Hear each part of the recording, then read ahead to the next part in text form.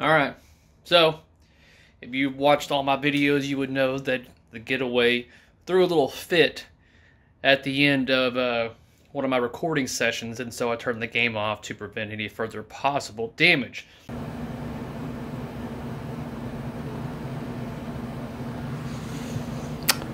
That's not good.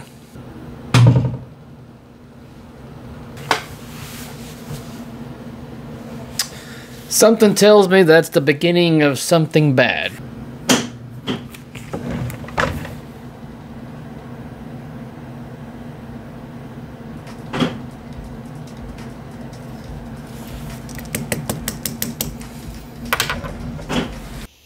We're going to see if that continues before we start investigating. Maybe we've got some underlying problems, maybe we don't. Um, so let's start up by turning on. Alexa, turn on the getaway. Ready to shift gears, Daddy. All right, let's see what we got going on here.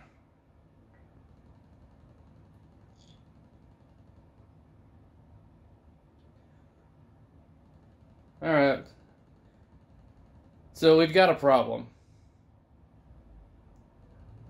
Yeah. All right, let's pull her out.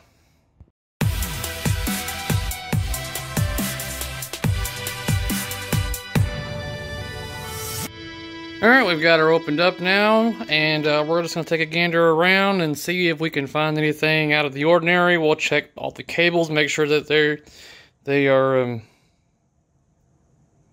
hmm. Uh, let me just make sure. I mean, because nothing else. I doubt very seriously I've got multiple cables or connectors that are bad. Uh, what what are the chances it's, it's just one cable? What are the chances? Let's turn it on. Let's see.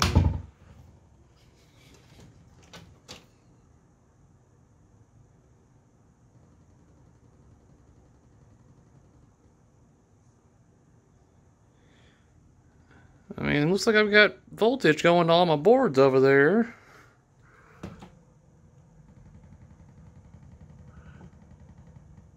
Uh,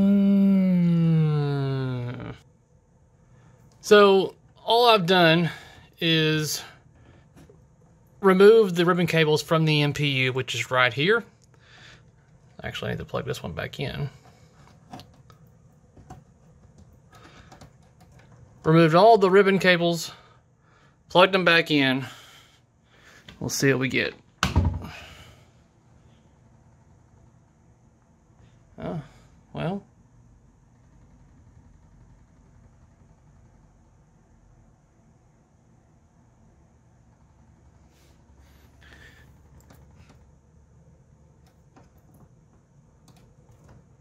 Oh.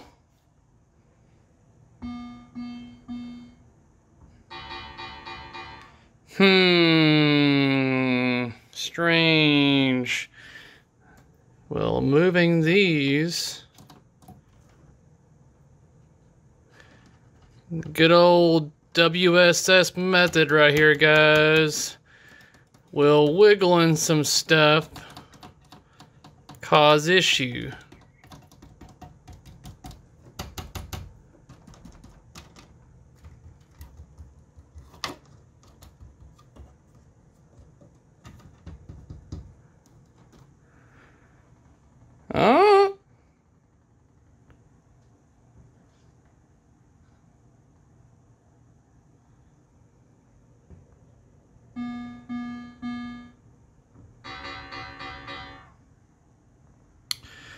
All right. So, intermittent issues, my favorite.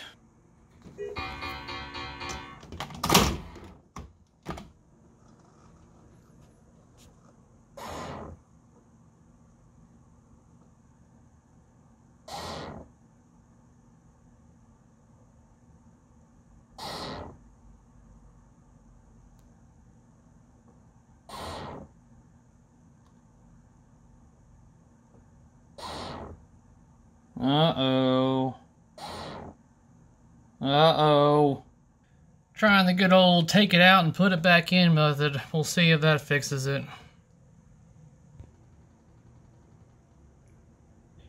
Nope.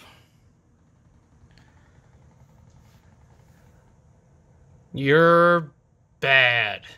All right, it's been about a week. I've got my new chips in right here, NVRAM as well as my new uh, CPU chip. We're going to turn it on just to see if we still have the same issue.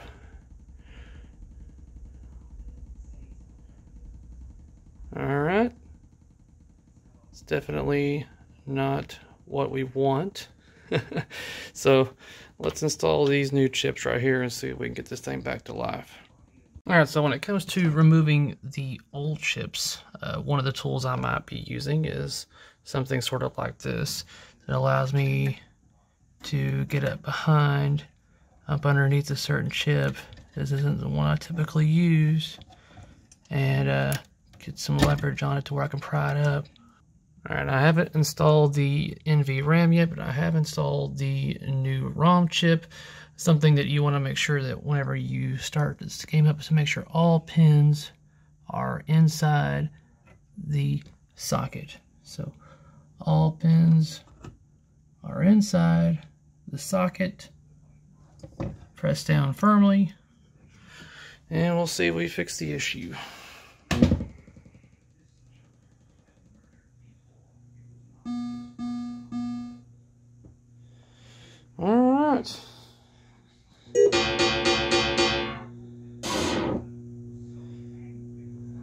It's got the pinballs in there.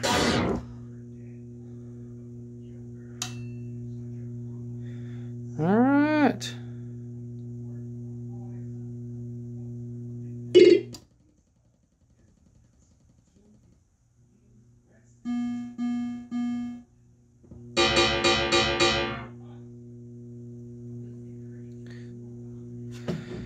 There we go. Looks like we're back to being good as new. Alright, let's get the uh, NVRAM installed now. and We can say goodbye to the uh, batteries. Alright, we are now running NVRAM. Put the NVRAM in, remove the battery pack.